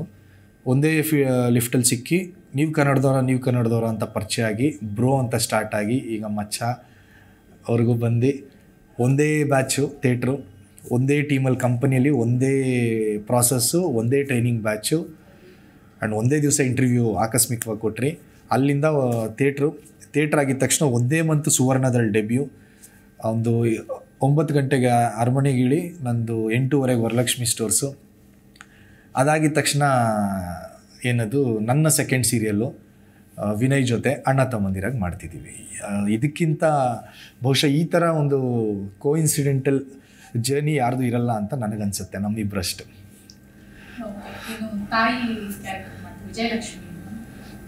ಅಮ್ಮ? ಕ್ಯಾರೆಕ್ಟರ್ ಮಾಡ ಅಜ್ಜಿ ಕ್ಯಾರೆಕ್ಟರ್ ವಿದ್ಯಾಮೂರ್ತಿ ಅವರು. ಸೊ ವಿದ್ಯಾಮೂರ್ತಿ ಅಮ್ಮ ಬಗ್ಗೆ ಹೇಳಬೇಕು ಅಂತಂದರೆ ಅದೇ ಪ್ರತಿಯೊಬ್ಬರು ನಾನೊಂದು ಅಷ್ಟು ಜನ ಯಾರ್ಯಾರು ನನಗೆ ಸಪೋರ್ಟ್ ಮಾಡಿದ್ರು ಅಂತ ಹೇಳಿದ್ನೋ ಜೆನ್ಯೂನ್ ಆಗಿ, ಅದರಲ್ಲಿ ವಿದ್ಯಾಮೂರ್ತಿ ಅಮ್ಮ ಕೂಡ ಅಷ್ಟೇ ಅವ್ರು ಅಲ್ಲಿ ಮಾಡ್ತಿರ್ಬೇಕಾದ್ರೆ ನಮಗೆಲ್ಲ ಒಂದು ಸ್ವಲ್ಪ ಡೇಟ್ಸ್ ಕಡಿಮೆ ಬರ್ತಿತ್ತು. ಹೇಳ್ದಂಗೆ ಸ್ಕ್ರೀನ್ ಪ್ರೆಸೆನ್ಸ್ ಕಡಿಮೆ ಇರೋದ್ರಿಂದ ಬೇರೆ ಕಡೆ ಅವರೇ ತುಂಬ ನಮ್ಮನ್ನೆಲ್ಲ ರೆಫರ್ ಮಾಡ್ತಿದ್ರು. ಇಬ್ಬರು ತುಂಬ ಒಳ್ಳೆ ಹುಡುಗರು ನೋಡಿ ಅಂತ ಹೇಳಿ ನಮಗೆಲ್ಲ ಸಪೋರ್ಟ್ ಮಾಡಿ ಭುಜ ತಟ್ತವ್ರು ವಿದ್ಯಾಮೂರ್ತಿ ಅಮ್ಮ.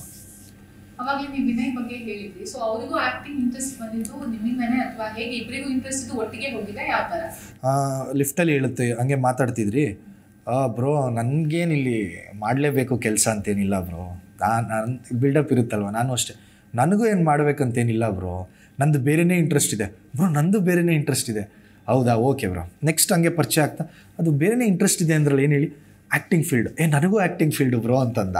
ಏ, ಹೌದಾ? ಓಕೆ, ಮಾಡೋಣ ಅಂತ ಹೇಳಿ ಅಲ್ಲಿಂದ ಜರ್ನಿ ಸ್ಟಾರ್ಟ್ ಆಯಿತು. ಏನು ಡೈಲಿ ಟ್ರೈನಿಂಗ್ ಟೈಮಲ್ಲಿ ಪಾರ್ಟಿ ಮಾಡೋದು, ಹೊರಗಡೆ ಸುತ್ತಾಡೋದು, ಹಂಗೆ ಮಾಡಿ ಮಾಡಿ ಮಾಡಿ ತುಂಬ ಕ್ಲೋಸ್ ಆದ್ರಿ. ನಾನು, ವಿನಯ್ ಇನ್ನೂ ಒಂದು ಮೂರ್ನಾಲ್ಕು ಜನ. ಆಗ ನಾನು, ವಿನಯ್ ತುಂಬ ಸೀರಿಯಸ್ ಆಗಿ ತೊಗೊಂಡ್ರಿ ಕೆರಿಯರ್ನ ಇನ್ನು ಮಿಕ್ಕಿದವ್ರು ತೊಗೊಂಡಿಲ್ಲ ಅಂದರೆ ಅದರಲ್ಲಿ ಇನ್ನೊಬ್ಬನಿಗೂ ಆಸಕ್ತಿ ಇತ್ತು, ಅವ್ನು ತೊಗೊಂಡಿರಲಿಲ್ಲ. ಸೊ ನಾನು, ವಿನಯ್ ತುಂಬ ಸ್ಟ್ರಾಂಗಾಗಿ ಫಿಕ್ಸ್ ಆಗಿ ಥಿಯೇಟ್ರ್ ಮಾಡಿಕೊಂಡು ಅಲ್ಲಿಂದ ಒಟ್ಟಿಗೆ ಇದು ಮಾಡಿ ಇವತ್ತಿಲ್ಲಿ ಬಂದಿದ್ದೀವಿ. ಅದಾದ್ಮೇಲೆ ಗಿಣಿರಾಮ ಸೀರಿಯಲ್ ಸೊ ಗಿಣಿರಾಮ ಬಂದ್ಬಿಟ್ಟು ಇದರಲ್ಲಿ ನನ್ನ ಪೇರ್ ಮಾಡ್ತಿದ್ರು ಭುವನ ಅಂತ ಹೇಳಿ. ಭುವನ ಅವ್ರ ಹತ್ರ ನಾನು, ಅಮ್ಮ, ನಿಮ್ಮ ಇ ಪಿ ನಂಬರ್ ಇದ್ರೆ ಕೊಡಮ್ಮ, ನಾನು ಮಾತಾಡ್ತೀನಿ. ಯಾವುದಾದ್ರು ಇದ್ದರೆ ಹೇಳಕ್ಕೆ ಹೇಳ್ತೀನಿ ನನಗೆ ಲುಕ್ ಟೆಸ್ಟ್ಗೆ ಅಂತ ಹೇಳಿದೆ. ಸೊ ಆಗ ಚರಿಷ್ಮಾ ಅವರ ನಂಬರು ಭುವನ ಅವ್ರು ಕೊಟ್ಟರು ಭುವನ ಅವರು ಚರಿಷ್ಮಾ ಅವ್ರ ನಂಬರ್ ಕೊಟ್ಟಾಗ ಫೋನ್ ಮಾಡಿದೆ. ಈ ಥರ ಈ ಸೀರಿಯಲ್ ಮಾಡಿ ಮಾಡಿದ್ದೀನಿ. ಆ್ಯಂಡ್ ನೋಡಿ ನನ್ನ ಪ್ರೊಫೈಲ್ ಕಳಿಸ್ತೀನಿ ಅಂತ ಹೇಳಿ ಕಳಿಸ್ದೆ ಕಳಿಸಿದ ನೆಕ್ಸ್ಟ್ ಡೇನೇ ಆ್ಯಂಡ್ ಚರಿಷ್ಮಾರ್ಗೆ ನಾನು ಥ್ಯಾಂಕ್ಸ್ ಹೇಳಲೇಬೇಕು. ಯಾಕೆ ಅಂತಂದರೆ ನಾನು ಫೋನ್ ಮಾಡಿದಾಗ ಅವ್ರು ಯಾರು ಯಾರು ಅಂತ ಗೊತ್ತಿರಲಿಲ್ಲ. ಆ್ಯಂಡ್ ನಾನು ಫಸ್ಟು ಹೇಳೂ ಇರಲಿಲ್ಲ ನಾನು ಈ ಥರ ಬೇರೆ ಎರಡು ಪ್ರಾಜೆಕ್ಟ್ ಮಾಡ್ತಿದ್ದೀನಿ ಅಂತ. ಸುಮ್ಮನೆ ಒಂದು ಫ್ರೆಶರ್ ಯಾರೋ ಒಬ್ಬರು ಫೋನ್ ಮಾಡಿ ಮಾತಾಡಿದ್ರೆ ಹೇಗಿರುತ್ತೆ, ಹಂಗೆ ಮಾತಾಡಿದೆ. ತುಂಬ ರೆಸ್ಪೆಕ್ಟ್ ಕೊಟ್ಟು ತುಂಬ ಚೆನ್ನಾಗಿ ಮಾತಾಡ್ಸಿದ್ರು. ಆ್ಯಂಡ್ ಅವತ್ತಾಗಿದ ತಕ್ಷಣ ಪ್ರೊಫೈಲ್ ನೋಡಿದ ತಕ್ಷಣ ನನಗೆ ನೆಕ್ಸ್ಟ್ ಡೇನೇ ಕಾಲ್ ಬಂತು. ನೆಕ್ಸ್ಟ್ ಡೇ ಕಾಲ್ ಬಂದು ಮನೇಲೇ ಒಂದು ವೀಡಿಯೋ ಮಾಡಿ ಕಳಿಸಿ ಅಂತ ಪ್ರೊಡ್ಯೂಸರ್ ಭಾಸ್ಕರ್ ಸರ್ ಫೋನ್ ಮಾಡಿದ್ರು. ಆ್ಯಂಡ್ ವಂಡರ್ಫುಲ್ ಪ್ರೊಡ್ಯೂಸರ್ ಎಲ್ರಿಗೂ ಅದು ಇಂಡಸ್ಟ್ರಿಯಲ್ಲಿ ಅವ್ರು ಮುಂಚೆನೇ ಪರಿಚಯ ಇದ್ದರು ಸೊ ಮಾಡಿ ವೀಡಿಯೋ ಕಳಿಸ್ದೆ. ಆಮೇಲೆ ಹುಚ್ಚಾದ ಅಂದಿದ ತಕ್ಷಣವೇ ಫಾರ್ಟಿ ಎಪಿಸೋಡ್ಸು ನಾನು ಒಂದು ಸ್ವಲ್ಪ ಹಿಂದೇಟ್ ಹಾಕ್ತೆ ಹುಚ್ಚಾದ, ಇನ್ನೂ ನಾನು ಸರಿಯಾಗಿ ರೆಕಗ್ನೈಸೇ ಆಗಲಿಲ್ಲ. ಈಗ ಸೀದಾ ಒಬ್ರು ಹುಚ್ಚಾದ ಮಾಡಿದ್ರೆ ಹೆಂಗಪ್ಪ, ಏನಪ್ಪ ಅಂತ ಅನ್ನಿಸ್ತು. ಆಮೇಲೆ ನನಗೆ ಹೇಳಿದ್ರು, ಬರೀ ಹುಚ್ಚಾದೇ ಇರಲ್ಲ ಫ್ಲ್ಯಾಶ್ ಬ್ಯಾಕಲ್ಲಿ ಒಳ್ಳೆಯವನಾಗಿರ್ತೀರಾ ಫ್ಲ್ಯಾಶ್ ಬ್ಯಾಕ್ ಸೀನ್ಸ್ ಒಂದಷ್ಟು ಬರುತ್ತೆ. ಅದಾದಮೇಲೆ ವಿಲನ್ ಆಗ್ತೀರಾ? ಹುಚ್ಚ ಆಗ್ತೀರಾ? ಆ್ಯಕ್ಟಿಂಗಿಗೆ ಸ್ಕೋಪ್ ಇದೆ ಅಂತೆಲ್ಲ ಹೇಳಿದರು. ಓಕೆ ಇಷ್ಟೆಲ್ಲ ಇದೆಯಾ? ಒಂದು ಓಕೆ ಅಂತ ಅಂದ್ಬಿಟ್ಟು ಬಟ್ ಸ್ಟಿಲ್ ಒಂದು ಕನ್ಫ್ಯೂಸ್ಡ್ ಮೈಂಡಲ್ಲೇ ಒಂದು ಏನೋ ಒಂದು ವೀಡಿಯೋ ಮಾಡಿ ಕಳಿಸ್ಬೇಕಲ್ವ? ಕೇಳಿದ್ದಾರೆ ಕೇ, ಕಳಿಸಿಲ್ಲ ಅಂದರೆ ಚೆನ್ನಾಗಿರಲ್ಲ ಅಂತ ಮಾಡಿ ಕಳಿಸಿದ್ದು. ಮಾಡಿ ಕಳಿಸಿದ್ರೆ ನೋಡಿದ್ರೆ ಸೆಲೆಕ್ಟ್ ಆದೆ. ಸೆಲೆಕ್ಟ್ ಆಗಿದ ತಕ್ಷಣ ಏನು ಎಪಿಸೋಡ್ಸ್ ಹೇಳಿದ್ರು, ಏನು ಹೇಳಿದ್ರು ಅದಕ್ಕಿಂತ ನನಗೆ ಜಾಸ್ತಿನೇ ಸ್ಕ್ರೀನ್ ಪ್ರೆಸೆನ್ಸ್ ಕೊಟ್ಟು ಅಂದರೆ ಸ್ಕ್ರೀನ್ ಸ್ಪೇಸ್ ಕೊಟ್ಟು ಆ್ಯಕ್ಟಿಂಗ್ ಒಳ್ಳೆ ಸ್ಪೇಸ್ ಕೊಟ್ಟು ಇಡೀ ಟೀಮ್ ನನಗೆ ಸಪೋರ್ಟ್ ಮಾಡಿದ್ದಾರೆ. ಹೀಗೆ ಸಿಕ್ತು ನನಗೆ chance so because of Charishma and Bhaskar sir ಒಂದಿಷ್ಟು ಸೀರಿಯಲ್ಗಳನ್ನ ನೀವು ಇವಾಗ ಮಾಡಿದ್ದೀರಾ? ಸೊ ನಿಮ್ಮ ಜನ ಯಾವ ಒಂದು ಪಾತ್ರದಿಂದ ನಿಮ್ಮನ್ನ ಗುರುತಿಸ್ತಾರೆ ಇವಾಗ? ಒಂದು ಫಸ್ಟ್ ವರಲಕ್ಷ್ಮಿ ಸ್ಟೋರ್ಸಿಂದ ತುಂಬ ಜನ ಗುರುತಿಸ್ತಿದ್ರು. ನಾನು ನಮ್ಮ ಫ್ಯಾಮಿಲಿ ಜೊತೆ ಎಲ್ಲಿ ನಮ್ಮ ದೊಡ್ಡಬಳ್ಳಾಪುರಲ್ಲಿ ದೇವಸ್ಥಾನಕ್ಕೆ ಹೋದರೂ ಕೂಡ ಕಾರಿಂದ ಎಲ್ಲ ವೇವ್ ಮಾಡೋರು ನನಗೆ. ಒಂದು ಕ್ಯೂವಲ್ಲಿ ನಿಂತ್ಕೊಂಡ್ರು ಅಷ್ಟೇ. ಎಲ್ಲೇ ಹೋದರೂ ಗುರುತಿಸೋರು ಆ್ಯಂಡ್ ರೀಸೆಂಟಾಗೂ ಅಷ್ಟೇ, ಯಾವುದೋ ಹೋಟ್ಲಲ್ಲಿ ತಿನ್ನೋಕೆ ಹೋದಾಗ, ನೀವು ವರಲಕ್ಷ್ಮಿ ಸ್ಟೋರ್ಸ್ ಮಾಡಿದ್ರಲ್ಲ ಅಂತ ಹೇಳಿ ರೀಸೆಂಟಾಗಿ ಗುರುತಿಸಿದ್ರು. ಸೊ ಫಸ್ಟ್ ಸೀರಿಯಲಲ್ಲಿ ತುಂಬ ಜನ ಗುರುತಿಸಿದ್ರು. ಅಂದರೆ ಮೈಸೂರು, ಅಲ್ಲಿ ಎಲ್ಲೋದ್ರೂ ಗುರುತಿಸ್ತಿದ್ರು. ಸೆಕೆಂಡ್ ಬಂದು ಆಮೇಲೆ ತುಂಬ ಗ್ಯಾಪ್ ಆಗೋಯ್ತು. ಕೋವಿಡ್ ಬಂದು ಒನ್ ಇಯರ್ ಗ್ಯಾಪ್ ಆಯಿತು. ಹಿಟ್ಲರ್ ಕಲ್ಯಾಣ ಟೇಕ್ ಆಫ್ ಆಗೋಕ್ಕೆ ತುಂಬ ಲೇಟ್ ಆಯಿತು. One and almost one year okay ಆದಮೇಲೂ ಸುಮ್ಮನೆ ಇದ್ದಿದ್ದು ಹಿಟ್ಲರ್ ಕಲ್ಯಾಣಗೆ. ಯಾವಾಗ ಗಿಡಿರಾಮ ಮಾಡೋದ್ನೋ, ಆಗ ರೆಕಗ್ನಿಷನ್ ಬಂದ್ಬಿಟ್ಟು ಎಲ್ಲೋದ್ರೂ ರೆಕಗ್ನೈಸ್ ಮಾಡ್ತಾರೆ. ಒಂದು ಹೂವು ತಗೊಳಕ್ಕೆ ಹೋದ್ರೂ ರೆಕಗ್ನೈಸ್ ಮಾಡ್ತಾರೆ. ಮೈಸೂರಿಂದ ಬರ್ತಾ ನನ್ನ ಕಾರ್ ಪಂಚರ್ ಆಗೋಯ್ತು. ನನಗೆ ಸ್ಟೆಪ್ನಿ ಹಾಕಕ್ಕೆ ಬರಲ್ಲ. ಯೂಶ್ವಲಾಗಿ ಯಾರಾದರೂ ನನ್ನ ಜೊತೇಲಿ ಇದ್ದೇ ಇರ್ತಾರೆ ಹೆಲ್ಪ್ ಮಾಡೋದಕ್ಕೆ. ಅವತ್ತು ದೇವಸ್ಥಾನಕ್ಕೆ ಹೋಗಬೇಕು ಅಂತ ಒಬ್ಬನೇ ಹೋಗಿ ಬಂದೆ. ಸೊ ಇಲ್ಲಿ ಪಂಚರ್ ಆಯಿತು ಹಂಡ್ರೆಡ್ ಮೀಟರ್ಸ್ ಮುಂದೆ ಲೆಫ್ಟ್ಗೆ ಹಾಕಿದೆ. ಅಲ್ಲಿ ಯಾರನ್ನೂ ಒಬ್ಬನ ಕೇಳ್ತಿದ್ದೀನಿ, ಅವರೇ ನನ್ನ ಗುರುತಿಸ್ಬಿಟ್ಟು, ಪಾಪ ಅವರೇ ಹೆಲ್ಪ್ ಮಾಡಿಕೊಟ್ಬಿಟ್ಟು ಹೋದರು ನನಗೆ. ಸೊ ಗಿಣಿರಾಮಯಿಂದ ನನಗೆ ತುಂಬ ಒಳ್ಳೆ ರೆಕಗ್ನಿಷನ್ ಸಿಕ್ಕಿದೆ. ಆ್ಯಂಡ್ ತುಂಬ ಅಂದರೆ, ತುಂಬ ನನ್ನ ಕೆರಿಯರ್ಗೆ ಹೆಲ್ಪ್ ಆಗಿದೆ. ನಾನೊಬ್ಬ ಆ್ಯಕ್ಟ್ರ್ ಅಂತ ಪ್ರೂವ್ ಮಾಡ್ಕೊಳೋದಕ್ಕೆ, ಅಥವಾ ನೀನು ಏನು ಮಾಡಿದ್ಯಾ ಅಂತ ಯಾರಾದರೂ ಕೇಳಿದ್ರೆ ಸೊ ನಾನು ಫಸ್ಟು ಗಿಣಿರಾಮದು ಎಪಿಸೋಡ್ಸ್ ತೋರಿಸ್ತೀನಿ.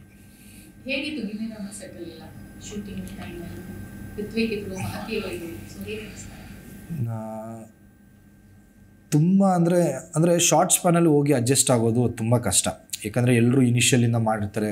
Four hundred four hundred five hundred episodes ಏನೋ ಆಗಿತ್ತು ನಾನು ಹೋಗೋ ಅಷ್ಟರಲ್ಲೇ ಅಲ್ಲಿ ಹೋದಾಗ ಹೆಂಗಪ್ಪ ಹೊಸ ಟೀಮು ಏನು ಕತೆ ಅನ್ನೋ ಥರ ಇದ್ದೆ.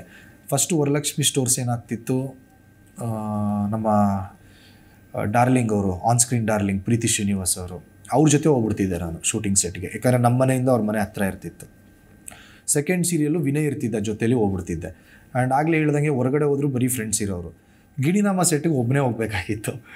ಸೊ ಅಷ್ಟು ದೂರ ಹೋಗ್ಬಿಟ್ಟು ಆ್ಯಂಡ್ ಹೊಸ ಸೆಟ್ಟು ಯಾರೂ ಪರಿಚಯ ಇಲ್ಲ. ಅವರಿಗೆಲ್ಲ ಅಷ್ಟು ಬಾಂಡಿಂಗ್ ಇದೆ. ಹೆಂಗಪ್ಪ ಅಂತ ಅಂದ್ಕೊಂಡೆ ಬಟ್ ನಾನು ಇವತ್ತಿಗೂ ಲೈಫ್ ಲಾಂಗ್ ನಾನು ನೆನೆಸ್ಕೋಬೇಕು ರಿತ್ವಿಕ್ ಅವ್ರನ್ನ. ಯಾಕೆ ಅಂತಂದರೆ ನಾನು ಅವ್ರಿಗೆ ಹೇಳ್ತಿರ್ತೀನಿ. ಆ್ಯಂಡ್ ಅವರು ನನ್ನ ಒಂದು ಓನ್ ಬ್ರದರ್ ಥರ ಟ್ರೀಟ್ ಮಾಡ್ತಾರೆ. ಒಬ್ಬ ಹೀರೋ ಏನು ಬೇಕಾದರೂ ಮಾಡ್ಬೋದು, ಬೇರೆ ಯಾವ ಕ್ಯಾರೆಕ್ಟರ್ಸ್ನ ಬೇಕಾದರೂ. ಅವ್ರಿಗಿಂತ ಜಾಸ್ತಿ ತೋರ್ಸೋಕ್ಕೆ ಯಾರೂ ಬಿಡೋದಿಲ್ಲ. ಆ್ಯಂಡ್ ಇದೆಷ್ಟೋ ಜನಕ್ಕೆ ಗೊತ್ತಿರಲ್ಲ, ಹೆಂಗೆ ಹೆಂಗೆ ಪಾಲಿಟಿಕ್ಸ್ ನಡೆಯುತ್ತೆ ಅಂತ. ನಾವು ಚೆನ್ನಾಗಿ ಬಟ್ಟೆ ಹಾಕಕ್ಕೆ ಬಿಡಲ್ಲ ಅವ್ರಿಗಿಂತ. ಚೆನ್ನಾಗಿ ಏನೋ ಲುಕ್ ಗ್ರೂಮ್ ಆದರೆ ಬಿಡಲ್ಲ. ಒಬ್ಬ ಹೀರೋಗೆ ಆ ಕೆಪಾಸಿಟಿ ಇರುತ್ತೆ, ಮಾತಾಡಿ ಏನು ಬೇಕಾದರೂ ಮಾಡಿಸ್ಬೋದು. ಬಟ್ ರಿತ್ವಿಕ್ ಅವ್ರು ನನಗೆ ಹೇಳಿದಷ್ಟು, ನೀವು ಚೆನ್ನಾಗಿ ಮಾಡ್ತಿದ್ದೀರಾ? ಮಾಡಿ ಅಂತ ಹೇಳಿ ಸಪೋರ್ಟ್ ಮಾಡಿದಷ್ಟು, ಬಹುಶಃ ಅಲ್ಲಿ ಎಲ್ಲರೂ ಸಪೋರ್ಟ್ ಮಾಡಿದ್ದಾರೆ. ಬಟ್ ಎಲ್ರಿಗಿಂತ ಒಂದು ಹತ್ತು ಪಟ್ಟು ಜಾಸ್ತಿ ನನಗೆ ಸಪೋರ್ಟ್ ಮಾಡಿದ್ದು ರಿತ್ವಿಕ್ ಅವರು. ಆ್ಯಂಡ್ ನನ್ನ ಲೈಫ್ ಲಾಂಗು ನಾನು ಅವ್ರ ಜೊತೆ ಏನಂತಾರೆ, ಆ ಒಂದು ಬ್ರದರ್ಲಿ ಹುಡ್ ಇದ್ದೇ ಇರುತ್ತೆ. ಆ್ಯಂಡ್ ನಂದು ಹೊಸ ಸೀರಿಯಲ್ಲು ಪ್ರೋಮೋ ಬಂದಾಗೂ ನಾನು ಫಸ್ಟು ಆ ಟೀಮಲ್ಲಿ ಅವ್ರಿಗೆ ಕಳಿಸಿದ್ದು. ತುಂಬ ಖುಷಿಪಟ್ಟರು ಫೋನ್ ಮಾಡಿದ್ರು. ಫೋನ್ ಮಾಡಿಬಿಟ್ಟು ಹೇಳ್ತಿದ್ರು. ಆಮೇಲೆ ಅಲ್ಲೇ ಹೇಳ್ತಿದ್ರು ಅವ್ರು ನನಗೆ. ಪಾಸಿಟಿವ್ ಆಗುತ್ತೆ, ನೋಡ್ತಾ ಇರಿ, ಇಲ್ಲಿಂದ ನಿಮ್ಮ ಲೈಫ್ ಹೆಂಗೆ ಚೇಂಜ್ ಆಗುತ್ತೆ, ಹೆಂಗೆ ಚೇಂಜ್ ಆಗುತ್ತೆ ಅಂತ. ಏನಕ್ಕೆ ಹೇಳ್ತಿದ್ದಾರೆ, ಆಮೇಲೆ ಡೈಲಿ ಚೆನ್ನಾಗಿ ಮಾಡ್ತೀರಾ ಅಂತಿದ್ರು. ಎಷ್ಟು ಅಂತ ಥ್ಯಾಂಕ್ಸ್ ಹೇಳಿ ಅವ್ರಿಗೆ. ಸುಮ್ಮನೆ ಆಗ್ಬಿಟ್ಟಿದ್ದೆ. ಬಟ್ ನಾನು ಅವ್ರಿಗೆ ಹೇಳ್ತಿದ್ದೆ ನೀನು ನಾನು ಥ್ಯಾಂಕ್ಸ್ ಹೇಳಿ ಹೇಳಿ ಸಾಕಾಗೋಗಿದೆ ಬ್ರೋ ಇದಕ್ಕಿಂತ ನಾನು ಜಾಸ್ತಿ ಏನು ಹೇಳೋಕ್ಕಾಗಲ್ಲ ಅಂತ ಹೇಳ್ತಿದ್ದೆ.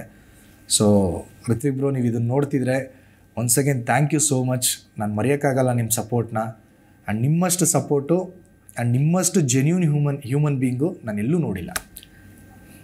ತೆಲುಗು ಅಲ್ಲಿ ತೆಲುಗಲ್ಲಿ ಹೊಸ ಪ್ರಾಜೆಕ್ಟ್ ಮಾಡ್ತಾ ಇದ್ದೀರಾ? ಸೊ ಯಾವ ಥರ ಪಾತ್ರ ಏನು? ಆ, ತೆಲುಗುವಲ್ಲಿ ಮುಕ್ಕು ಪುಡಕ ಅಂತ ಜಿ ತೆಲುಗುವಲ್ಲಿ ಬರುತ್ತೆ. ಬಹುಶಃ ಪ್ರೈಮ್ ಸ್ಲಾಟಲ್ಲೇ ಬರುತ್ತೆ. ಪ್ರೋಮೋ ಬಿಟ್ಟಿರ್ತಾರೆ, ನೀವೆಲ್ಲ ನೋಡ್ಬೋದು. ಅಗೇನ್ ಅಲ್ಲಿ ಅವರು ನನ್ನ ರಿಸೀವ್ ಮಾಡಿಕೊಂಡಂಥ ರೀತಿ, ನನಗೆ ಕೊಟ್ಟಿರುವಂಥ ಫೆಸಿಲಿಟೀಸ್ ಇರ್ಬೋದು. ಆ್ಯಂಡ್ ಪ್ರತಿಯೊಬ್ಬರು ಮಾತಾಡಿಸೋ ರೀತಿ ಇರ್ಬೋದು. ತುಂಬ ಅಂದರೆ ತುಂಬ, ಅಂದರೆ ನಾವೆಲ್ಲೋ ಹೊರಗಡೆ ಬಂದು ಕೆಲಸ ಮಾಡ್ತಿದ್ದೀವಿ ಅಂತ ಅನಿಸೋದಿಲ್ಲ. ಪ್ರತಿಯೊಬ್ಬರು ಕೋ ಆ್ಯಕ್ಟರ್ಸು ನಾವು ಅವ್ರನ್ನ ನೋಡಿ ನನಗೆ ಅನಿಸ್ಬಿಡ್ತಿತ್ತು ಅಯ್ಯೋ, ನಾನು ಇನ್ನೂ ಒಂದು ಸ್ವಲ್ಪ ಡೌನ್ ಟು ಅರ್ತಾಗಿ ಬಿಹೇವ್ ಮಾಡಬೇಕಪ್ಪ ಇವ್ರ ಹತ್ರ. ಏನು ಇಷ್ಟು ಒಳ್ಳೆ ಜನ ಇವರೆಲ್ಲ? ಎಷ್ಟು ಚೆನ್ನಾಗಿ ನಮ್ಮನ್ನು ರಿಸೀವ್ ಮಾಡಿಕೊಂಡು ಎಷ್ಟು ಚೆನ್ನಾಗಿ ನೋಡ್ಕೋತಿದ್ದಾರೆ ಅಂತ ಅನ್ನಿಸ್ತು. ಇಂಟ್ರೊಡಕ್ಷನ್ ಸೀನ್ ಆಗಿರ್ಬೋದು ಪ್ರೋಮೋ ನೋಡಿರ್ತೀರಾ? ಅಥವಾ ನೋಡದೇ ಇರೋರು ದಯವಿಟ್ಟು ನೋಡಿ ಮುಕ್ಕು ಪುಡುಕ ಅಂತ ಯೂಟ್ಯೂಬಲ್ಲಿದೆ ಸೀರಿಯಲ್ ಪ್ರೋಮೋ ಸೊ ಎಷ್ಟು ರಿಚ್ಚಾಗಿ ಮಾಡಿದ್ದಾರೆ. ಅದಕ್ಕಿಂತ ಜಾಸ್ತಿ ರಿಚ್ಚು ನಂದು ಇಂಟ್ರೊಡಕ್ಷನ್ ಸೀನ್ ಆಗಿರ್ಬೋದು, ಮತ್ತೊಂದಷ್ಟು ಸೀನ್ಸ್ಗಳು ಬರ್ತವೆ. ತುಂಬ ಚೆನ್ನಾಗಿ ಮಾಡ್ತಿದ್ದಾರೆ. ಆ್ಯಂಡ್ ನಿಮ್ಮೆಲ್ಲರಿಗೂ ಖಂಡಿತವಾಗ್ಲೂ ಇಷ್ಟ ಆಗುತ್ತೆ. ಲೀಡ್ ಆಕ್ಟ್ರೆಸ್ ಇಬ್ರು ಕನ್ನಡದವರೇ ಇದ್ದೀರಾ? ಹ್ಮ್. ಸೊ ಐಶ್ವರ್ಯ ಅವರಿದ್ದಾರೆ ಸೊ ಅಲ್ಲಿ ಕನ್ನಡ ಮಾತು ಮಾತಾಡ್ಕೊಂಡಿರ್ತೀರಾ? ಹೆಂಗೆ? ಆ, ಅದೇ ಅಲ್ಲಿ ಒಬ್ಬರು ನಮ್ಮ ಭಾವ ಕ್ಯಾರೆಕ್ಟ್ರು ನಮ್ಮ ಅಣ್ಣ ಕ್ಯಾರೆಕ್ಟ್ರ್ ಹೇಳ್ತಿದ್ರು. ನೋಡಪ್ಪ ಎಲ್ಲ ಸೆಟ್ಟಲ್ಲೂ ಕನ್ನಡದವ್ರು ಇರ್ತಾರೆ. ಸೊ ನಮಗೆ ಒಂದೊಂದು ಸಲ ಅನಿಸುತ್ತೆ ನಾವು ಯಾವ್ದು ಸೀರಿಯಲ್ ಮಾಡ್ತಾ ಇದ್ದೀವಿ ಏನು ಅಂತ ಅಂತ. ಸೊ ಐಶ್ವರ್ಯ ಒನ್ಸ್ ಅಗೇನ್ ಅವರು ಅಷ್ಟೇ ತುಂಬ ಒಳ್ಳೆಯವರು. ಆ್ಯಂಡ್ ಅವ್ರು ಅಷ್ಟು ಫೇಮಸ್ ಅಂತಲೂ ನನಗೆ ಗೊತ್ತಿರಲಿಲ್ಲ. ಯೂಶ್ವಲಾಗಿ ಕೋ ಆರ್ಟಿಸ್ಟ್ ಅಲ್ವಾ ಅಂತ ಮಾತಾಡಿಸ್ತಿದ್ದೆ. ಪ್ರೋಮೋ ಬಿಟ್ಟ ಮೇಲೆ ನನಗೆ ಗೊತ್ತಾಯಿತು. ಐಶ್ವರ್ಯ ಇಷ್ಟೊಂದು ಜನನ ಸಂಪಾದನೆ ಮಾಡಿದಾರಾ ಅಂತ ಅಂದ್ಬಿಟ್ಟು. ಆಮೇಲೆ ಅದನ್ನ ಯಾವತ್ತೂ ಅವ್ರು ನನಗೆ ತೋರಿಸಿಲ್ಲ. ತುಂಬ ಅಂದರೆ ತುಂಬ ಒಳ್ಳೆಯವರು ಅವರು. ತುಂಬ ಸಾಫ್ಟಾಗಿ ಮಾತಾಡ್ತಾರೆ. ಆ್ಯಂಡ್ ಅದಾದಮೇಲೆ ಕನ್ನಡದಲ್ಲೇ ಮಾತಾಡ್ತಿರ್ತೀವಿ ಯೂಶ್ವಲಾಗಿ ಅವ್ರ ಜೊತೆ ಆಗಿರ್ಬೋದು ಆ್ಯಂಡ್ ನಮ್ಮ ಅತ್ತಿಗೆ ಕ್ಯಾರೆಕ್ಟರ್ ಮಾಡ್ತಿದ್ದಾರೆ ನವ್ಯ ರಾವ್ ಅಂತ. ಸೊ ಅವರು ಕೂಡ ಕನ್ನಡದವ್ರೇ ಸೊ ನಾವುಗಳು ಸೇರಿದಾಗ ಬರೀ ಕನ್ನಡದಲ್ಲೇ ಮಾತಾಡ್ತಿರ್ತೀವಿ. ಆ್ಯಂಡ್ ಅಲ್ಲಿ ಯಾರಿಗೂ ಏನೂ ಬೇಜಾರಿಲ್ಲ. ಈಗ ಡೈರೆಕ್ಟ್ ಇದ್ರೂ ಕೂಡ ನಾವು ಡೈರೆಕ್ಟ್ರ್ ಮುಂದೆನೇ ಕನ್ನಡದಲ್ಲಿ ಮಾತಾಡ್ತಿರ್ತೀವಿ. So they are fine with that ಇತ್ತೀಚಿನ ದಿನಗಳಲ್ಲಿ ಕನ್ನಡದವರ ಹವಾ ಎಲ್ಲ ಕಡೆ ಜೋರಾಗಿ ಇದೆ. ನೀವು ಕೂಡ ಆ ಟೀಮ್ ಇವಾಗ ಜಾಯಿನ್ ಆಗಿದ್ದೀರಾ?